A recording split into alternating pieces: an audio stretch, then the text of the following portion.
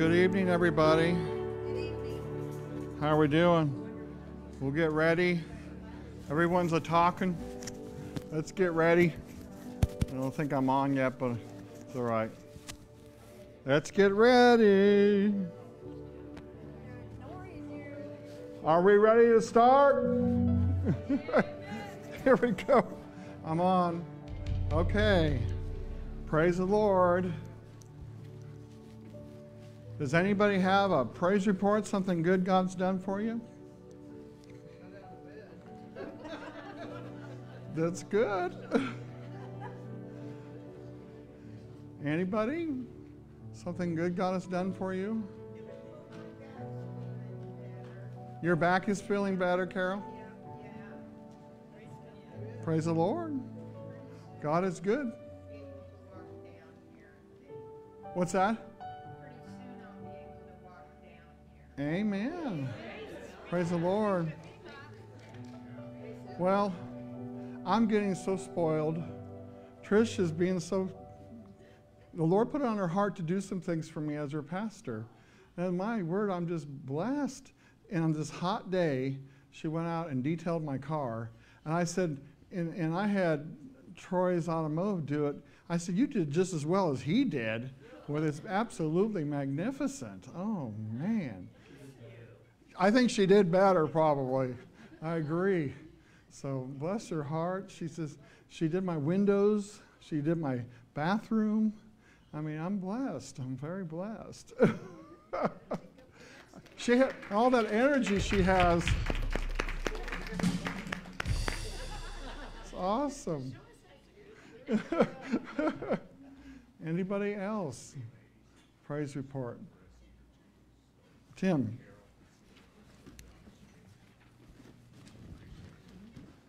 Thank you, Pastor John. Yeah, some, oh, about a month ago, having some challenges with my family, uh, my siblings and stuff, but kind of missed it at first, but then the Lord showed me how to recover and restore by, you know, building up, you know, trust again and, and you know, uh, communicating properly to build a, a, a you know, honorable problem solving and the results of you know restoring that relationship with my second oldest sister which she was so loving and kind to me as a child. You know growing up when i was this uh, rebellious teenager she would love me and hug me. And so god just really uh, helped me and showed me you know just to develop that kind of love in me. And i believe it's being restored with my older sister. And Amen. so even though she's she you know we were raised Catholic, she wouldn't consider herself saying that she's like born again.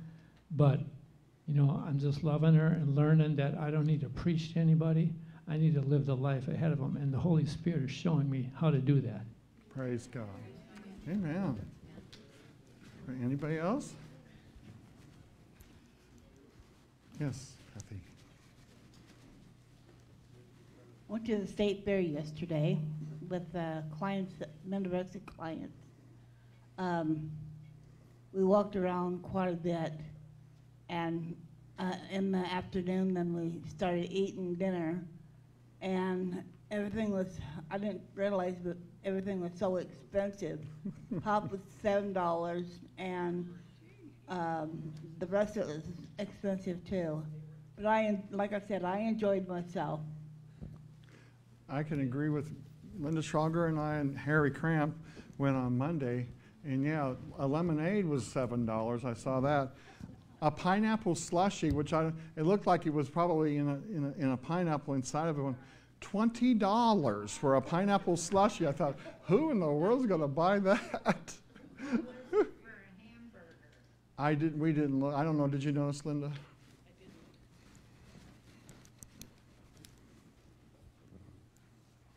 So we waited till after the fair and we went to Tommy's restaurant. It was And- good. And what I was going to order was not what the price was on the menu, it was three dollars less. Amen. That's right. It was a special. Yes. Amen. And Harry, he spends most of his money on all the other residents at um, Spring Creek home, he has things for everybody. We had to, and we had to go to Doniphan to the Dollar General. If you ever need to go to Dollar General and you're on their way, it's a beautiful Dollar General. It has, it has a lot more stuff, and it's clean and neat and very nice, very impressive. So we we enjoyed that, and we went to Walmart, we went to Russ's, and Harry doesn't get out, so he loves going. so, and his he called his brother Harold the next day. I went over to Harold. Oh yeah, Harry's already ca- called me. so, he had a good time. It was good. Yes, he did. Yes, he did. Um, just don't get too settled in those seats that you're in because we will be moving you all when the youth get here, okay? I just want you to know it. they're coming in, if they have football practice, so it's going to be a little late, all right? So they'll be here pretty soon. So let's just have a word of prayer. Father, we thank you for this evening. Thank you for all these wonderful praise reports. Thank you for what you're doing in our lives.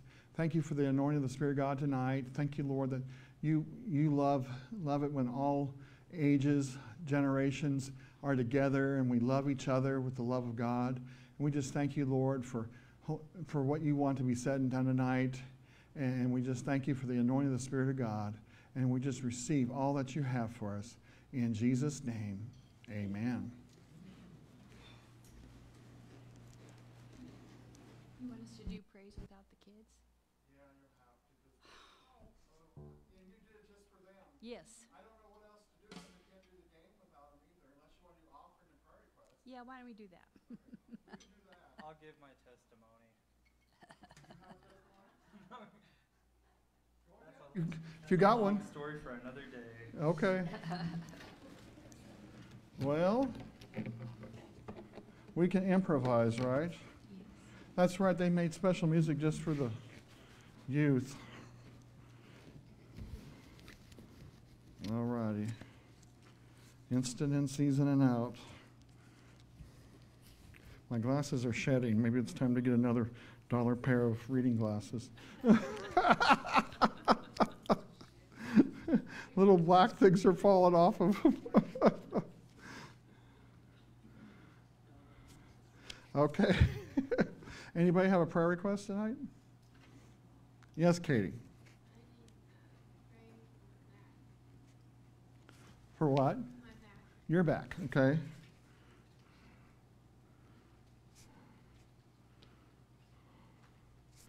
Anybody else? I was hoping we'd have a whole bunch of prayer requests. Not really. We're happy when we don't have a whole bunch. Anybody else? Okay. Oh, Brenda. My uh, sister's mother-in-law had heart surgery and kind of having a tough time coming out of it. What is her name? Um, Mary, Mary Tejan. I think it's brain lapse, And she had what? What she have? Sorry. valve replacement, Valve replacement. Okay. and she's having a tough time coming out of it.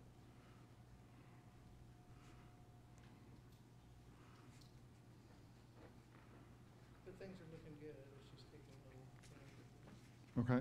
Linda. Tim Sturwell, it's his left lung. It's just his left Left lung. lung. Yeah, Tim Sturwell, Okay. Just left. Left lung. Okay, I'll just write that there. Pastor, did you have one? Oh, you're just telling me. Okay. Anybody else? Oh, let me get the microphone for you. Where did I put it? Right here.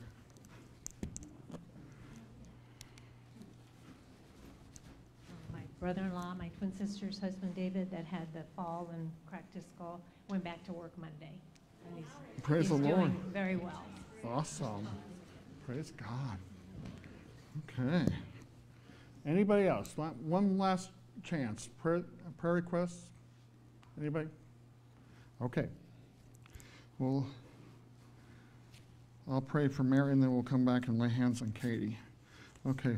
Father, we just thank you for Mary Tejan, and we just thank you, Lord, for she'll recover from that valve replacement surgery. We just thank you, Lord. Every organ, every tissue of her body functions to perfection which you created to function. We just speak to her body and we call you healthy and whole and recovering, Father. And, and we just, the strength of God in her, we thank you for it. And you're the strength of her heart. Just touch her, Father God. And we just thank you for leading, guiding, directing the doctors, nurses, and everyone involved. We thank you for it. Thank you for what you're doing in her. In Jesus' name, thank you, Lord.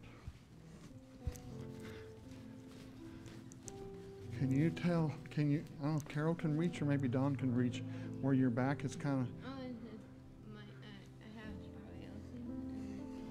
it's it's over here? Well, Father, in the name of Jesus, we just thank you. We take authority over scoliosis. We take, and we just thank you for this back. You straighten the backs, they're bowed down. We thank you for it in the name of Jesus. We thank you for touching her with your healing power, flowing through her from the top of her head to the soles of her feet, the healing anointing. We thank you for it. You sent your word and you healed her, and we just thank you and we receive all that you have for her. Thank you for it right now. Do a work in her, Father God. Thank you. Do a work in that back. She's able to, to, to bend. She's able to move. She's able to sit. She's able to lay down. Do all those things without any pain or discomfort. We just thank you for what you're doing in her. In Jesus' name, amen. Praise God. Okay, well, we're waiting for the kids, so we'll, if you would like to give tonight, you can get an offering envelope from the chair in front of you. Make your checks out to Living Faith Fellowship Church, LFFC. And our, um, let's see, we have one more time to give to Samaritan's Purse for the Ukraine. That's today. So, and then starting Sunday, we will be given to Fleming Ministries for the month of September.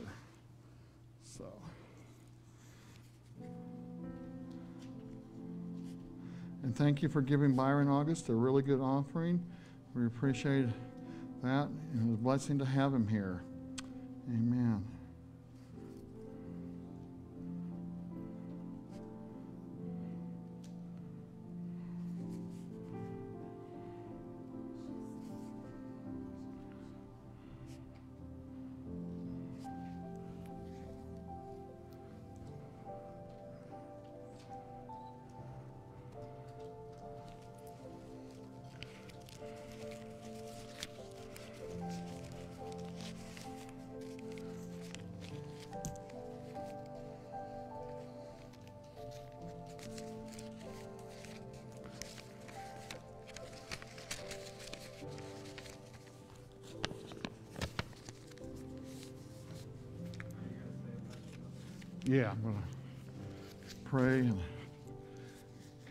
Going to sing. Is that what you asked me?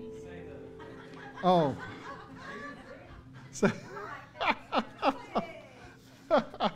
Um, I am going to explain that a little bit. That we got these new envelopes and we inadvertently left a few phrases out of the middle of the confession. So we are going to get some new envelopes pretty soon, but it might be just a little bit till we do that. So, oh, good, we got it on the screen. Good, Kathy did that. Thank you very much. So that's got the full thing on it. If you have an old one, it's got it on there too. So we will get that changed, but we will do that. So let's have a word of prayer and then we'll do our confession. Father, we thank you for the opportunity to be able to give. And we just thank you, Lord, that it's a privilege to be able to give to you. And we thank you for your blessings every day. Help us never to take that for granted, but to know that we are blessed, our country is blessed, and we just continue to thank you for all that you're doing for us, Lord. And we thank you for harv- our harvest. In, in the natural, it's going to be harvest time soon. Well, it's harvest time every day when you give into the kingdom of God. And we thank you for it. And we receive our harvest for each person here and for Living Faith Fellowship Church. We thank you every bill is paid, every need is met. We just thank you for it, and we just give you the glory, honor, and praise for all that you're doing. In Jesus' name, amen. Let's just say our confession together. As I tithe and give offerings, I'm believing you, Lord, for jobs and better jobs, raises and bonuses, benefits and promotions, sales and commissions, estates and inheritances, interest and income, rebates and returns, discounts and dividends, checks in the mail, gifts and surprises, bills decreased, bills paid off, blessings and increase, and greater victories in the midst of greater odds. Thank you, Lord, for meeting all my needs. I may have more than enough to give to promote the gospel of the Lord Jesus Christ.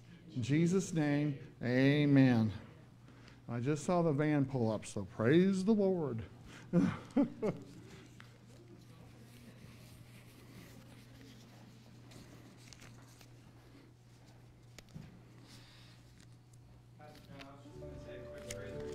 Can you, you have a microphone there? Yes, I was just gonna say, thanks for dealing with me for eight years now. Do I, do I deserve a medal? Long suffering, long suffering. Okay, we'll have to do. James, we've seen such growth in you. That's what's rewarding as a pastor, to see growth. And uh, we have seen that in you. Amen.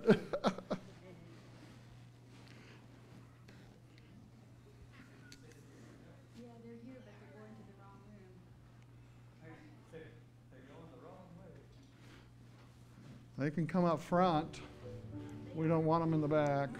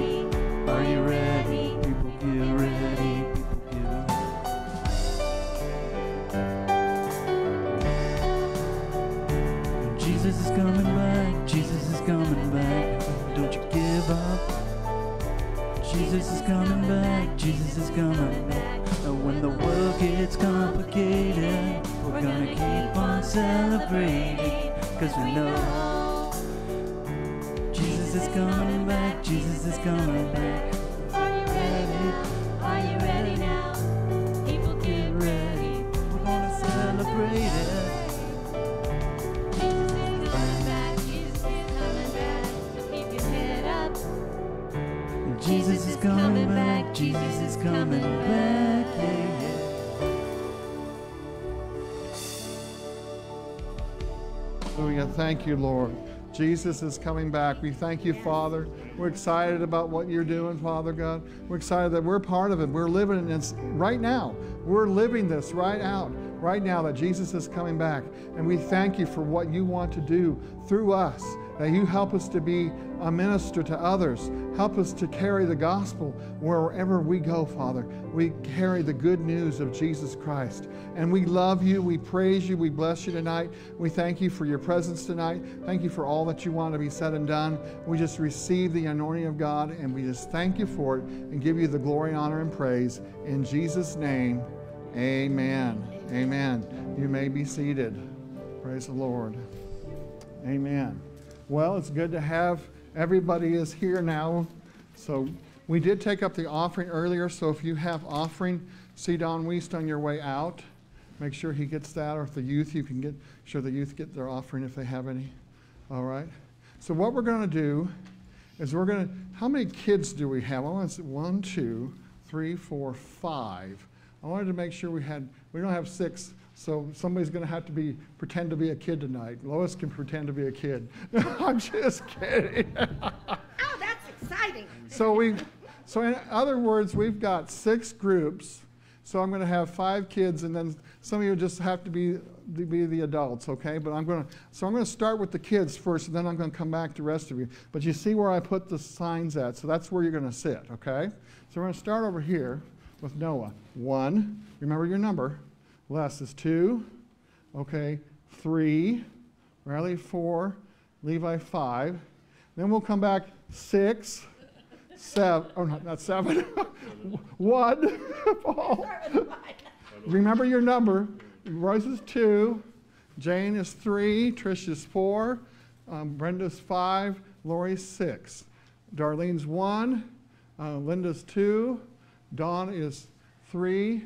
Now we'll have to see how this works. Do you want to just stay back there, Carol? We won't. Okay. So three. So Katie's four. Are the Weeks going to help? Okay, Kathy's five. Um, James, you are you helping?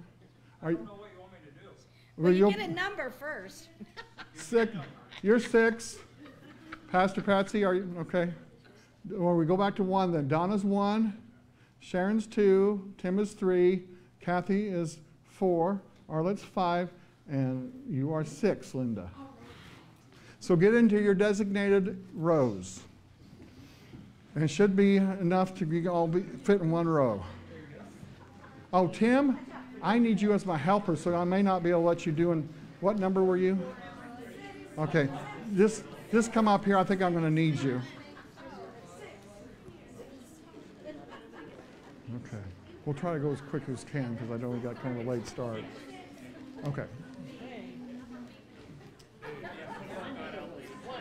Yeah, can't control that. I do understand. I used to go to football practice. I understand too. Do I remember? Yeah. Yes. Noah, can you please sit up? Thank you. I know you're tired. Okay. All right. Everybody, okay. Now, let me read a scripture to you. First of all, the rule is if I'm talking, no one else is to be talking. so I don't have any balloons to pop. That's what we do at VBS. But if the person up here is talking, no one else is supposed to talk.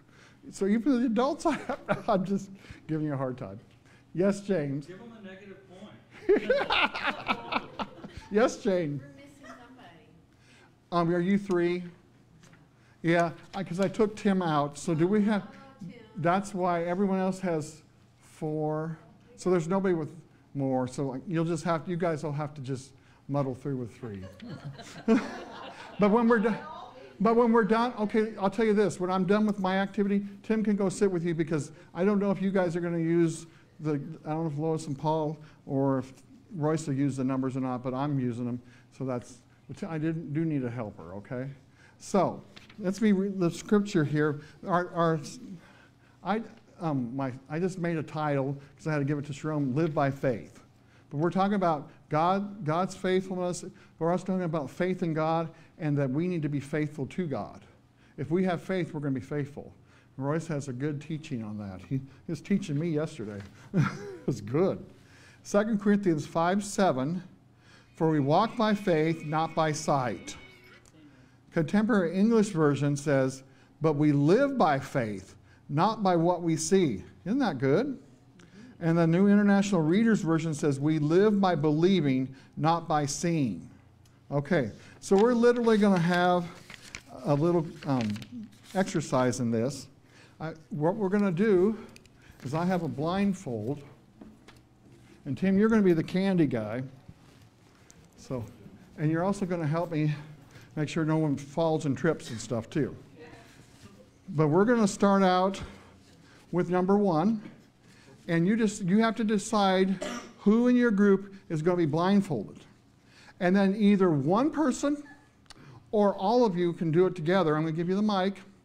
You have to start them right here, and you have to get them through this obstacle course over to sit down on that finish line chair.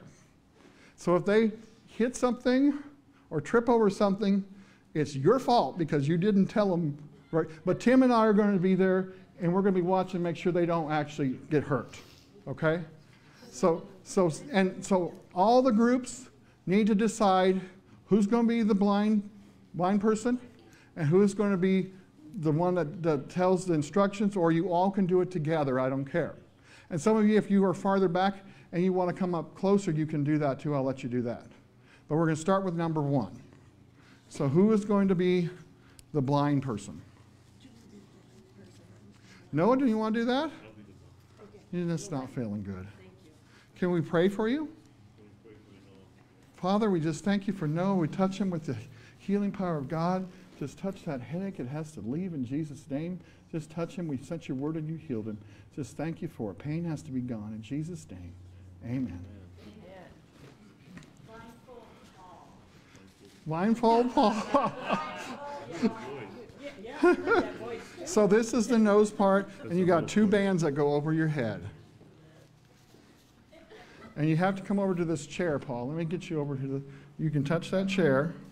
Now, how do we guide? You have to tell him. I don't know. You have to tell him by voice command how he gets over to that finish line. So you have to say, walk forward three steps, take a left, oh. things like that. Oh, You can point. I can I Y- y- point? yeah, you Can can't- you'll follow can't my really point. Yes, you follow where I point. Okay. All right, Paul. Take two steps forward. Left face, Left face, left, right, Right, right face, I'm sorry. Say what? Right face, right face, I'm sorry. Three steps forward. Now, does he have to go a certain way? You get him out of your, just to get to that chair. I don't care how you do it. Left face. Three steps forward.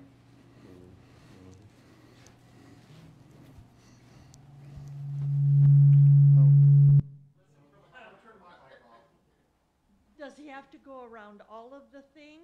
Okay. Two more steps forward. Right face. Four steps forward.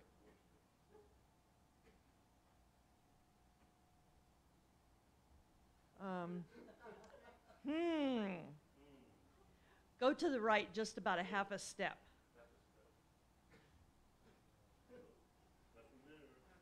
To the right, to the right, turn to the right, yes. Oh, no, no, no, to the right, the other right. The- uh, Go one step forward.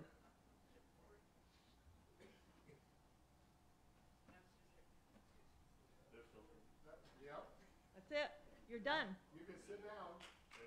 Woo-hoo!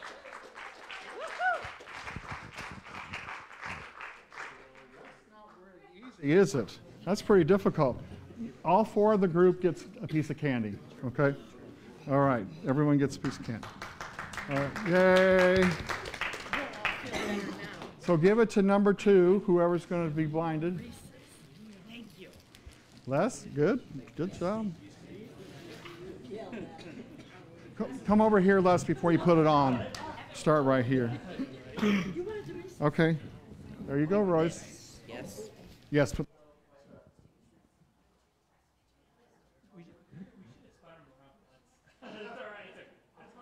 No, fair enough. Okay.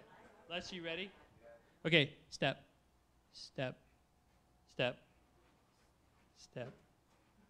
Turn right, step, step, step, step, step, step, right, step, left, left. Stick your foot out. There you go. Good.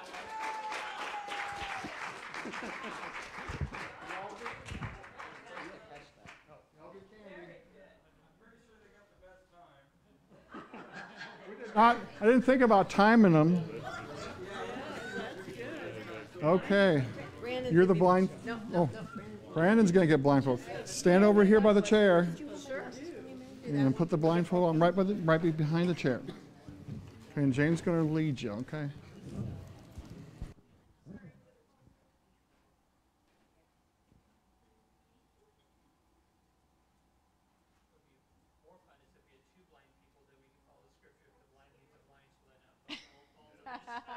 Yeah. Okay. I heard. Can I say this real quick? I heard a joke. Now that's not very good, but two blind two blind guys were fighting, and, and a guy yelled out, "One of you has a knife." That's bad. I know. That's bad. All right, Brandon. Turn to your left. All right, good job. Take three steps. And one more step. Turn to your right. Take five steps. Okay, take two more steps. Turn to your left. Three steps. Ooh, ooh, I think you found. Can you turn around and sit down? Sit down. Oh, oh, oh, oh, move. There you go. Good job. Number four.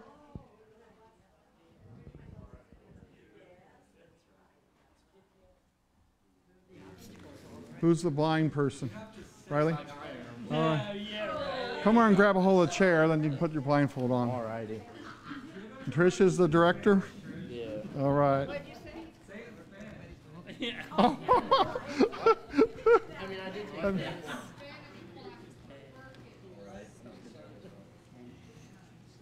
All right, take three three steps forward. I like your shoes. They're sharks. All right, uh, take another three steps forward. Forward this way? Yes. All right. Whoop, whoop. well, That way? Be Yeah, yeah, careful. There you go. sure. All right, turn, stop. Forward. Forward. Whoop. you did it. All right. Good job. Number five.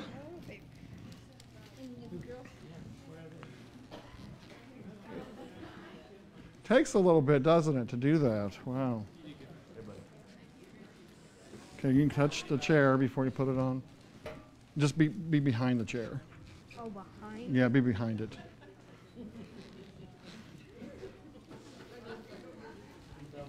Kathy's doing it. Oh, no.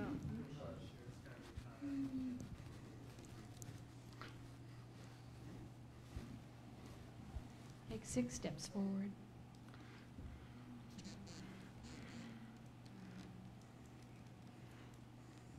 Okay, turn to your right. I'm, I'm right, left challenged. Right, turn to your right. Take three steps. Okay, now take, turn to your left. Take two steps. Now turn to your right. Four steps. You're there. Good job.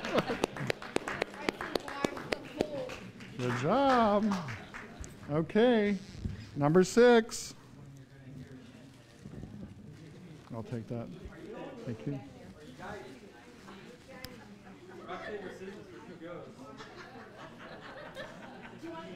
I want it in Spanish. I'm kidding. Oh, no. Trish, come here. He wants it in Spanish. I was Oh, kidding. You gotta be kidding. We're gonna try. You're gonna give it to him in Spanish. I want you to do it in Spanish. This is funny. I am out. Should I spin around a few times? All right, where are we Okay, going? let's do that. Oh no. Oh boy. Oh boy. Okay, I think it's this way. Oh. okay. Dos, tres. Tres pesados. Adelante. I wouldn't know what to do. Más, más. Dos, tres. Ah, voltea derecho, derecho, derecho. Didn't quite get that last one. Seguir adelante, adelante. Tres, tres. Up, up. Voltea, voltea. Vol- I felt- ok, uh, ok. Ahora sí. Adelante. Oh, voltea. I'm, like, scared right derecho, now. derecho is right. Right. Okay. Cool. Adelante. Cuatro. Oh, oh, you changed the chair. You're not supposed to tell him. Your son did that. I knew Royce was beside me. There you got it. Thank you. Yes. That was awesome. Thank you. Like I noticed you went. Tim, can you help me take all this stuff and kind of move it against the wall? Thank you. All right. Well, what'd you think of that game? That, that, that was kind of fun, wasn't it? Good job. Give yourselves a hand. Yay. But think about that. That's what the Holy Spirit is doing. Sometimes it's easier. Sometimes you're really in tune and you're going with what they tell you to do. Sometimes you don't quite interpret it completely the right way, right? Just a little bit off. And you. Yeah. Sometimes, yeah, sometimes. so we're developing spiritually. And I think it's a good analogy how we're developing spiritually and how we fine tune. Sometimes it's not as easy as other things to hear the voice of the Spirit, and sometimes we bump into something too. but then we eventually get there. If you just be faithful and listen to the voice of the Holy Ghost, you'll get there. And it doesn't matter if you bump into something once in a while. That means you might make a mistake or something, but God will pick you back up and help you. And nobody fell, and nobody got hurt. okay, who's going next, Lois or Royce? We're going together. Oh, cool. Well, you both need the mics then? I'll give. You want this one? Well, you can have this one. You sure? Okay. Okay. Yes, you can. Well, come on.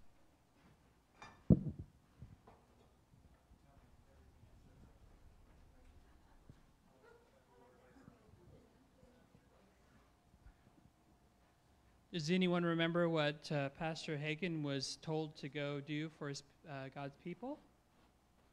Teach them what? Faith, that's right. So we're going to talk about faith tonight, which is awesome. Um, such an important topic. And so we're going to try to tag team this together, and we've not done this in person, so. so Yes. So, so I better pray first. So bow your heads with me. Heavenly Father, just thank you, Lord, how awesome and amazing you are. Thank you, Father. What a wonderful, beautiful evening to to be with your people. I thank you, Father God, uh, that we get to talk about such a, a glorious, beautiful, wonderful subject. Uh, to talk about faith, but also faithfulness, Lord. I thank you, Father God. You are faithful. You are so good. You're so amazing. I thank you, Father God, for calling us out of darkness into your marvelous light. And Holy Spirit, we just invite you here tonight to lead and guide and direct us here this evening. In Jesus' name, amen. All right. Well, so um, Lois is awesome because she's really good at illustration. I'm more the, the nerdy part of things. So you get the nerdy part, and you get the cool illustration part. So, yeah. so, um, you know, as, uh, when I was uh, trying to think about what to talk about, um, I wanted to talk about faith, and, and Pastor John thought that was a good topic to talk about. And so I was thinking, why did that come up in my spirit? Why did that come in my heart? Probably because, again, I always remember Brother Hagin talking about he was sent to go teach my people faith. We're supposed to walk by faith, we're supposed to live by faith. It's so important. But God put this in my heart. And it was interesting that um, Byron August come and talk a little bit about faith. I thought it was perfect. The, the analogy of the firecracker, I just love that. It was really good. And, and God put in my heart that faith is a conductor of God's power. Okay, so when we think of that, faith is a conductor of God's power. So wherever we put our faith towards something, it attracts God's power. Okay? So I want you to get that mindset because uh, we're, we're going to talk about a, a, few instances in the Bible. But, um, you know, but where does that power come from? It, it comes from inside of us. It comes from God, but, but the power is inside of us. In fact, Ephesians 3.20 says, Now unto him who is able to exceedingly abundantly above all that we could ever ask, think, or imagine, according to the power that is at work in us. So sometimes we forget that power is inside of us. That same spirit that raised Christ from the dead dwells in us. That same power that raised Christ from the dead dwells in us. And in fact, it talks about how God, it was, it, one translation said there was an exertion of force that God used. If God had to use exertion or work towards raising Christ from the dead all the way to the highest heights, that's probably the greatest display of power ever known. And that's inside of you. So sometimes we walk around where we think we're feeble and quiet and we don't, you know, we're nothing. But you know what? With God, all things are possible. So we need to keep that in mind that, you know what? With God, we can do all things, okay? And so, um, so I wanted to go into a couple of things um, about uh, faith first, and then I'll go into a couple stories. So Hebrews 11.1 says, Now faith is the substance of things hoped for, the evidence of things not seen. And so when we think of that, we, you know, I used to think, uh, you know, I, used to, I, I, just had a wrong um, vision of what faith is. But so faith is the substance of things hoped for. What is that substance? What is the evidence of things not seen? So I looked up in the Greek concordance, and it says substance is the support, the assurance, the confidence, the it, it's concretely. And so when we think of support, I think of supporting evidence coming from a legal perspective. We think of the supporting evidence. So when you think of like a, a, someone committing a crime, well, what's the supporting evidence? Well, they had a gun, they had a mask on, they liked to talk about robbing banks, right? So we have that analogy in our head that, that that's supporting evidence. So we're supposed to look at what are we believing for and how are we acting towards that? That is that substance. Evidence is proof or conviction. So what is the proof?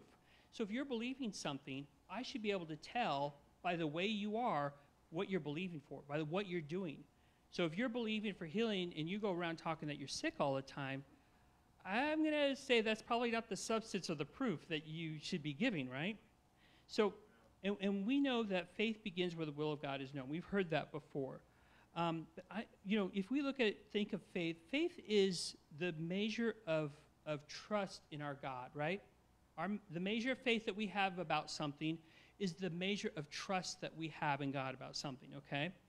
And so, um, so I'm going to give a couple of stories, and, and, and Lois is going to help me with the illustration with this. And we're just going to break these down. So I'll, I'll, give you the scriptures real quick. I'm trying to hurry, so forgive me. That's why I'm going super rapid. So Matthew uh, chapter 8, uh, we're talking about the, the faith is the centurion soldier. Okay, so Romans cha- uh, uh Matthew chapter 8, verses 5 through 13. And it says, When Jesus had entered Capernaum, a centurion came to him asking for help. Lord, he said, My servant lies at a home paralyzed, suffering terribly. Jesus said to him, Shall I come and heal him?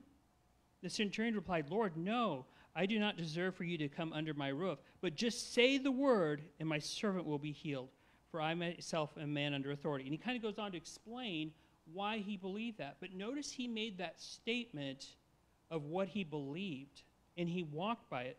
Then Jesus said to the centurion, looking further down, he said, Jesus said to the centurion, Go, let it be done just as you believed it would. He didn't say just he would be healed. He said it would be done exactly how you believed it would be. All right. I need Brandon. Come here.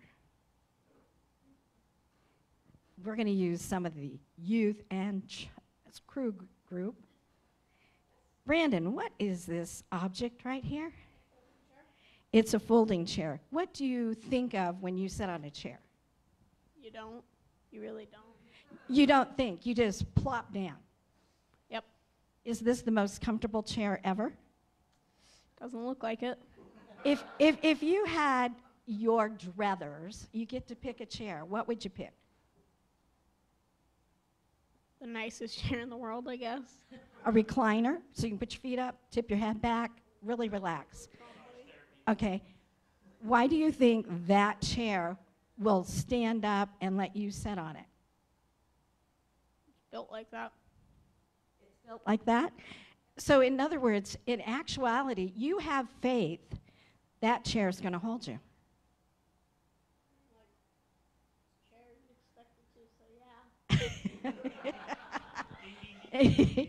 okay, so what I'm trying to point out to you if I tell you to sit down in that chair, you have no problem doing it. You have a lot of confidence that chair is going to hold you. Yep. Okay, the centurion had confidence when he said, Just say the word, and my servant will be healed. So if I say the word, sit on the chair. I'll sit on the chair.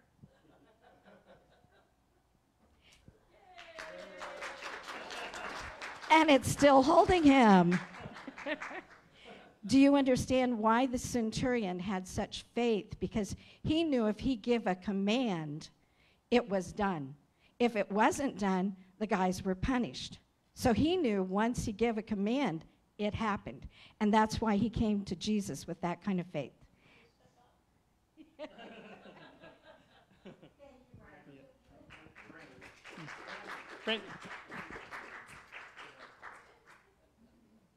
So the next the next story we're going to tell about is the woman with the issue of blood. Um, we're going to look at uh, Mark chapter 5, verses 25 through 34. And you don't have to look it up because I'm trying to do super speed, okay? So, um, so the woman with the issue of blood, she had this issue of blood. And as many of you know, back then, if you had an issue of blood, you were considered unclean. And what did you have to do when you went out in public? Declare. Yeah, declare that I'm unclean, I'm unclean, right? Stay away from me. And so she didn't do that, right? So this, I'm, going to pick up in verse 27. It says, After hearing about Jesus, she came up in the crowd behind him and touched his cloak. And this is from the NASB, okay? She said, For she had been saying to herself, If I touch his garments, I will get well. For she had been saying to herself, you know, you, it almost sounds like she's been saying that in, either in her mind, saying that out loud. She's been thinking about this, right? She's been thinking, okay? And so if I just touch his garments, I will get well. So we know what happens. Jesus, he, she touches his garment, And Jesus, perceiving in himself that power from him had, had, gone, had gone out, turned to the crowd and asked, Who touched me?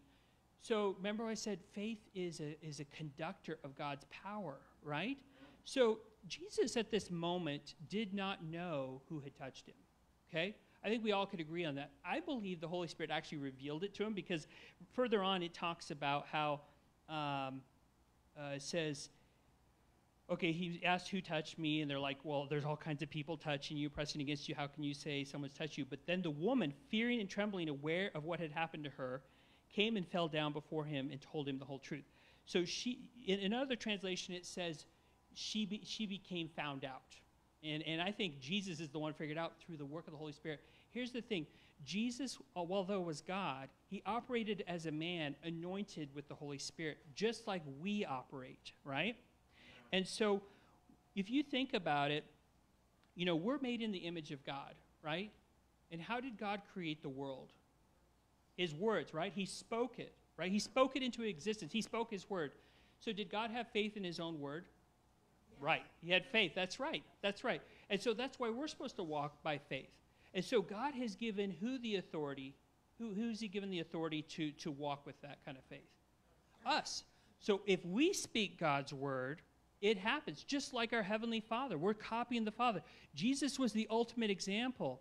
He was the ultimate example because he was, he was man acting under the, the anointing of the Holy Spirit, how we're supposed to act, right? So that's, that's our example. So we, we are also supposed to do that. And here I lost my place just a second. so we're also supposed to do that. So Jesus, seeing that, um, uh, you know, sensing that the power had gone out of him, uh, he figures it out. She comes to him, tells him the truth, and Jesus said, um, I made you well, right? No, he said, Your faith. Your faith, because your faith is a conductor of God's power. It flowed out of him. So when people say, this is what I have a problem with, sometimes people say, well, uh, if it be thy will. There's some things we're supposed to ask what is God's will? Hey, Lord, do you want us to go to Dairy Queen or the Mexican restaurant, right? That's that you know, that's okay to ask what is your will, right? But here's the thing, when it comes to things like healing, Jesus healed them all. The only people he had trouble healing is when he went back to his hometown. It said they had they were in unbelief, right? They did not have faith, and he only performed a few small miracles there. So it was the level of faith at which Jesus was able to heal or perform miracles, right? And so, again, we see that. So he says, Daughter, your faith has made you well. And actually, many translations says made you whole, which is really interesting. So she was seeking after Jesus and she was made whole. Go in peace and be cured of your disease, okay? Okay, this illustration basically falls down to the fact of the story itself. I always think of this story as a real example how to practice your faith because we're in situations and we're looking at them. She had this for 12 years.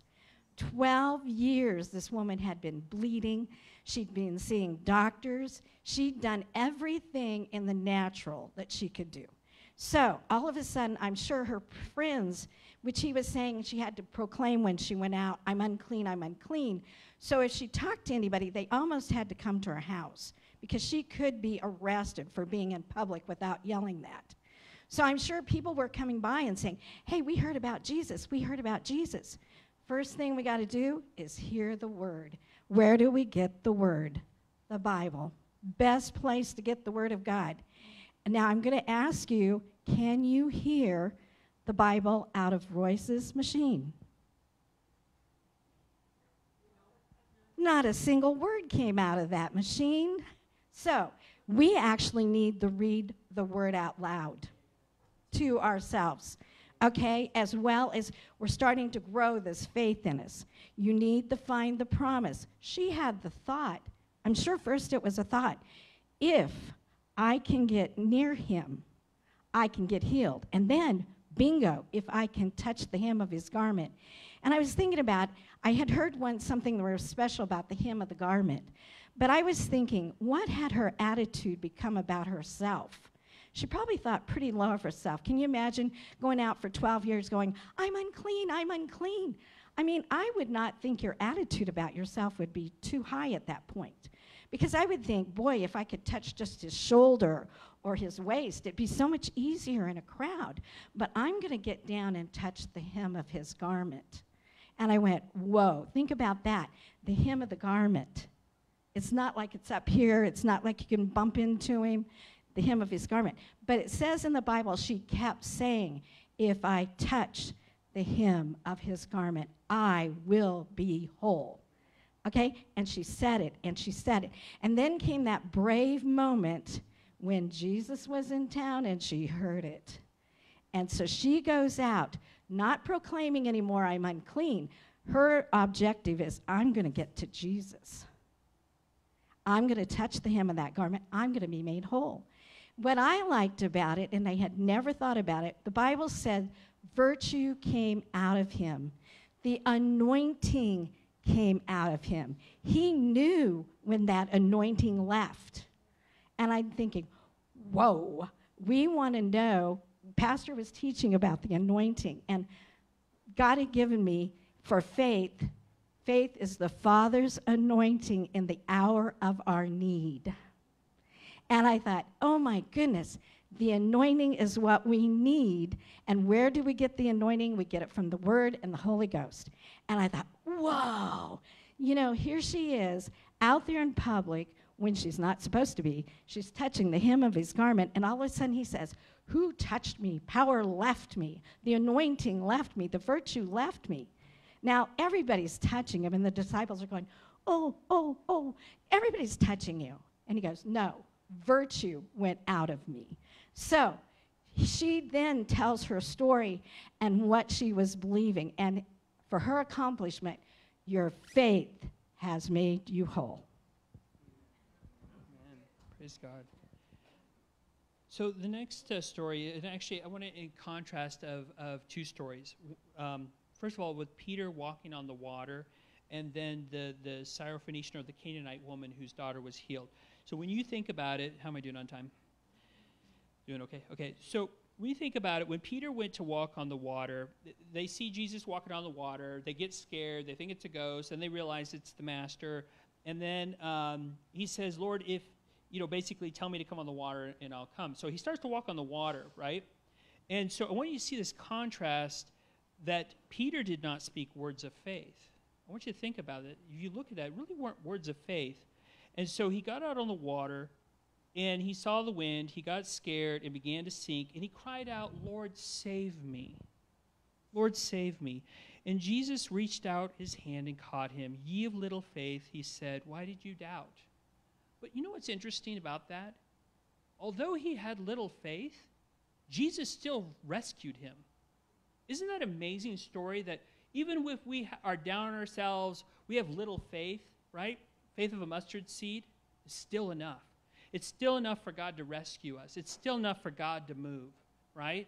So start somewhere. Have faith, you know, but but change the way you say things. Because he never said, I'm walking on the water, I'm walking on water. You know, he, he didn't say that. He he saw he got his eyes off of Jesus and he got it on the circumstance, right? That's what happened. Now I want to co- contrast that kind of faith, even though Jesus still rescued him. I want you to know that. So if we have the faith of mustard seed, little faith, he still rescues us. Thank you, Lord. Oh. But contrast that with um, the Canaanite woman. So I'm going to, okay, I'm going to pick up here in Matthew chapter 15, verse 22. It says, A Canaanite woman from the vicinity came to him crying, Lord, son of David, have mercy on me. So she's not really quite, you know, speaking faith words just yet, right? My daughter's demon possessed and suffering terribly, but she knows where to go to. She knows the source of where to go to, right? And Jesus did not answer her words, so he doesn't even say anything to her. So that his disciples came to him and urged him, saying, Send her away, for she keeps crying out after us. And he said, This is what he tells her I was sent only to the lost sheep of Israel. Now we know Jesus was called to the Jews, right? We do know that. But he made this statement, but I want to know why didn't he make this statement to the Roman centurion? Because he he instantly saw the faith of the Roman centurion, right? He's like, oh, you don't have to come to my house. Just say the word and it's done. Boom, right there. Already taken care of, right? Jesus, I think, was drawing out her, trying to figure her words, drawing out her words of faith, because watch how it changes, okay? Send, so send her away, or sorry, it says, I was sent only to the lost sheep of Israel. Now, people can say, well, it, it wasn't Jesus' will to heal. Yes, it's God's will to heal. Watch the situation change. Then the woman knelt down before him, Lord, help me. So again, not, I mean, she's going to the right source, but I'm not hearing words of faith, right? Words of faith call those things be not as though they are, right? So, so he says, It is not right to take the children's bread and toss it to the dogs. This is her reply. Look what happens when she changes her words. Yes, it is, Lord. yes, it is, Lord.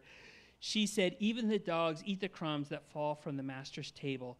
Then Jesus said to her, Woman, you have great faith. Your request is granted, and your daughter and her daughter was healed at that moment.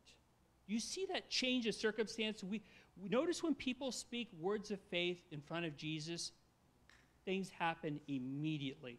Instant change. Otherwise, if we get our eyes off of Jesus and we get on the circumstance, we can begin to sink like Peter. But Jesus still rescued him. Thank you, Lord. Okay, Leslie, come up here.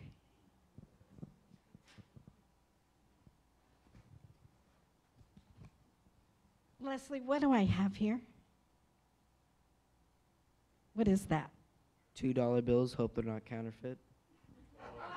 Oh, thank you. Your trust in me is so rewarding. Do you know that money has been known as currency? Okay. If you wanted to buy something with those $2, what would you do? I'd go to the store. Would you look at prices of stuff that you were interested in? I'd look at whatever's two dollars. Okay, so in other words, it, in, in my store today, everything's $2, okay? Come, I've got three items over here. One is a Hershey's bar, one is a Kit Kat, and one is a Starburst. Okay, what do you desire? Starbursts. Why Starburst? I don't know. You don't like the others? No, Starbursts are just better. It's better, okay? So in my in my in my store, what are you going to have to do to get that starburst? Ooh, so you're going to hand me the currency, okay?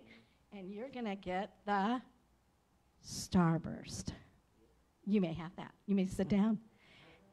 The point of this story is our faith is the currency for what we want. We go to the Bible, we find the scripture. If you're looking for healing, you get the healing scriptures. If you're looking for finances, you get financial scriptures. If you're looking for a house, you get house scriptures. If you're looking for car, you look for car scriptures. You look for what you need in the Bible, okay? The currency is our faith. That's how we reach out so that we can get it. What I didn't say to him was if he wanted it, he was going to have to take it out of my hands. Okay? That's the same way. Once we find that scripture, once we believe with confidence that what God says, he will do, then we just reach out and take it. We become like those little kids when they grab their favorite toy and we go, It's mine, it's mine, it's mine. And that's what we need to do with whatever the Bible tell you. It's mine, it's mine. I am righteous. I am born again. I am healed. We need to be grabbing those scriptures and just holding on to them tight and not letting them go until we see them manifest in our life. And we need to keep saying it and keep saying it and praising God for it and thanking Him every day for that very thing you're believing. And just like that currency or the current He's talking about, that's our way to get what God promised and bring it to the natural. Praise God. Amen. So again, faith, um, you know, faith is such an important part of, of our lives, and you know, um, faith is again the, the substance of things hoped for. But you know, it's we, we get faith by faith cometh by hearing, and hearing by the word of God, right? When we talked about that earlier, and faith comes by hearing and hearing and hearing it over and over and over. And if you think about it, when Jesus changed, the, or when God, sorry, not Jesus, when God changed the name of Abram to Abraham, he was actually hearing God's word over and over and over. He was hearing God's word speaking over and over and over and over. It was building up his faith. It was keeping him strong in the faith, and God credited that towards uh, for right, uh, as righteousness. So um, again, we're supposed to speak those things, be not as though they are. Um, and and I want to say how that ties into faithfulness. So you think about it, faithfulness when it comes to God being faithful to us. In Lamentations, it says, The steadfast love of the Lord never ceases. His mercies never come to an end. They are new every morning. Great is his faithfulness. So he is ever faithful to us, never stops. We don't have to even question that side of the equation. The side we have to question is our faithfulness to him. So if faith is the measure of trust that we have in God, faithfulness is the measure of trust that God can have in us. So we need to check up on our faithfulness to God, okay? How, how much can God trust you? By being faithful to the little things, going to church, your job, your family. Um, you know what? Uh, being faithful with uh, what you've been given, the money you have. Are you good stewards with what you have? You know, are you, are you good at school? You know, we talk about school. Do you do your homework? Okay? So we're supposed to be faithful and when we're faithful with little, God will promote us and make us faithful with much. It's so important to be faithful because with, with faithfulness, again, when, we, when we're faithful, there's not just a reward to that. There's, there's uh, being faithful to read God's word, being faithful to his presence. It builds us up and keeps us strong. And this day and age, more than ever, it is ever important. Why? Because the enemy is out to destroy us and not just destroy us, he is wanting to wipe out a young generation. It only takes one generation to, to change uh, the world in one direction or the other. Really is. We see that all the time. One generation. And we see that when you think about it, when um, Satan was really behind whenever he's trying to kill, right? Kill, steal, and destroy. That's work of the enemy. So when Pharaoh tried to kill all the babies, Moses survive. But Moses was born and was faithful to God, and God used him mightily. Satan was trying to destroy that work. Even with King Herod, notice it was the babies. Again, notice they're always trying to destroy the babies, they're always trying to destroy the kids. But Jesus was still born and was faithful to God to carry out what he, what he was called to do. And look at what God used through him. So the left today the left ideology is trying to kill all the babies. Isn't that interesting? We see the same pattern. Nothing new is under the sun. Satan doesn't have any new tricks, it's all the same tricks. He's trying to kill the children. You were still born. So, you young kids, are you faithful to God? Are you faithful to God? Because Satan is out to destroy you, you guys first because you're, you're susceptible, you're vulnerable. That's why he tries to kill the little children. But when you grow up, so as you guys grow up, mature in the Lord, be strong. Be strong for your friends, be strong for your family, be strong for those around you. Because as you're faithful, it helps strengthen your faith. And when your faith is strengthened, we see God do awesome and mighty things in the Bible. By faith, Noah built the ark before it ever rained. Didn't even rain yet, ever in history. By faith, Joseph stored up the grain before the famine ever hit.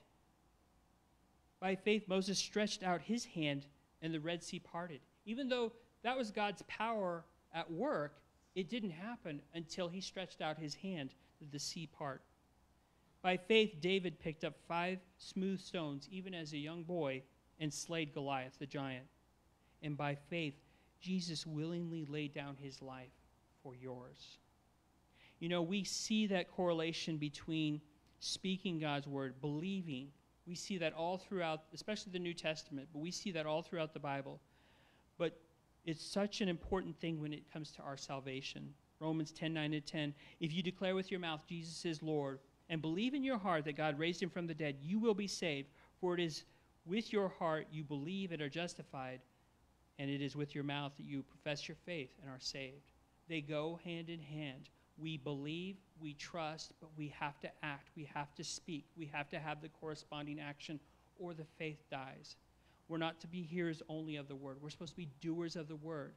So try to exercise this all, and I'm just trying to push all of us to do better, myself included. Let's not just get the Word of God inside of us, let's do something with it, okay? And I believe, was Levi, Levi supposed to pray? Was he? Is he supposed to pray?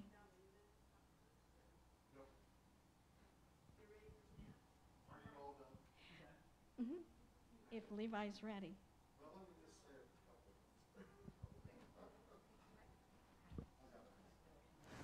Well, let's just give Royce and Lois and everybody a hand for a good job.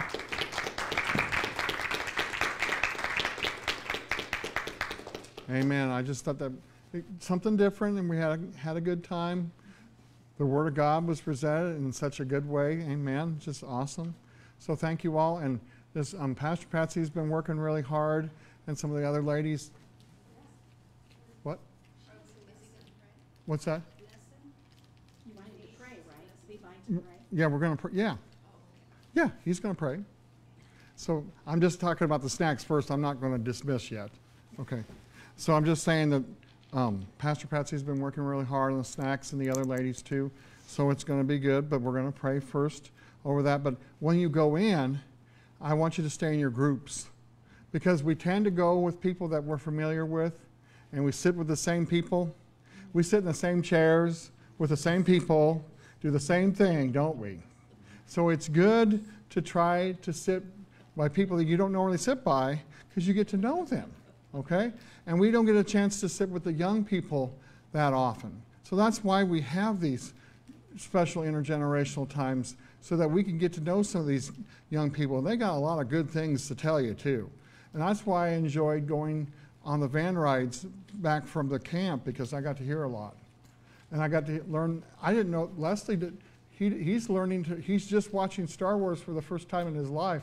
How far have you gotten now? Not any farther than last time. Okay. Because school's starting, you're busy now, right? But I was just like, hey, we had something we could talk about. The, th- the, the four of us could talk about Star Wars the whole time. it was fun. I enjoyed. I still remember that conversation because it was fun. We enjoyed it. So that's just have a good conversation. Get to know these, these young people. We just love them so very much. Amen. So yes, Levi, would you please come up and we're going to have you pray.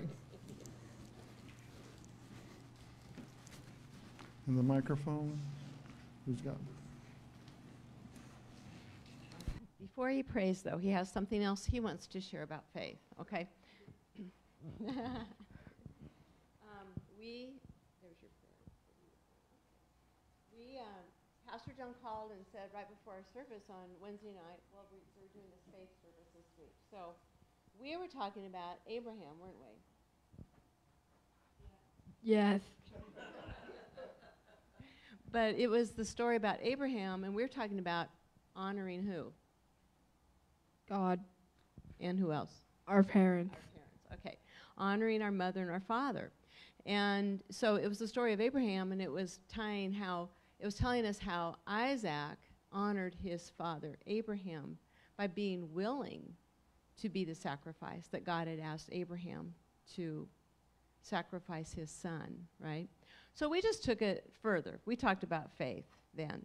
And we talked about the fact that that Abraham was willing to sacrifice his son. He had the faith. He had faith in the covenant he had with his father God, knowing that if he had to sacrifice his son, he knew God was going to raise him from the dead because that was his seed for all of the stars of the sky of his of of all of um, his seed that was going to belong to him. And so that's what we did, and we came up with something here. So this is yours, the top one, right? So you tell everybody is. Word faith, it's an acronym. Levi likes acronyms. You all heard my um, ACTS acronym, right? I'm the best special speaker ever. Tell them your, tell, tell them your acronym first. My acro- my ACTS acronym is after Christ took sin. Now, this is faith. Fully anticipating it to happen. What you're anticipating is um, Jesus coming back.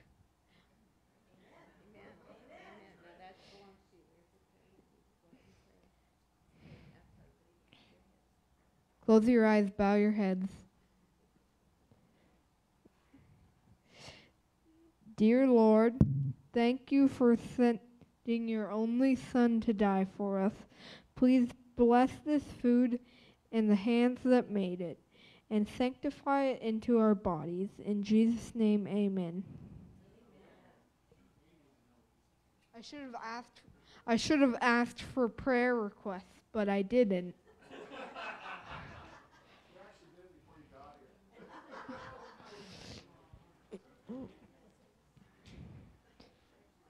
Yeah. I, I'm the best special speaker ever. So um uh donate money to your special speaker. This might be my successor. Praise the Lord. Did you come up with that faith acronym yourself? Oh, you helped. Okay. That was good, though. All right. Thank you all for coming. We've been prayed. We prayed, we prayed for our meals. So, just a reminder if you didn't give offering, make sure you give it to Don Weist. And we're going to go have snacks. Stay in your group, sit together, and fellowship, okay? That's my um, charge to you. Thank you. We love you all. God bless you. See you Sunday at 10:30 a.m.